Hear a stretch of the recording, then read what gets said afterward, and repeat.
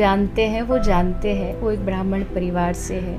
जो परिवार, जो मुझसे जुड़ा है या जो मुझे वास्तविक रूप में जानता है, उसको अच्छे से पता। रही बात दुष्प्रचार की तो देखिए, मैं अकेली नहीं हूँ इस संसार में। जब भगवान कृष्ण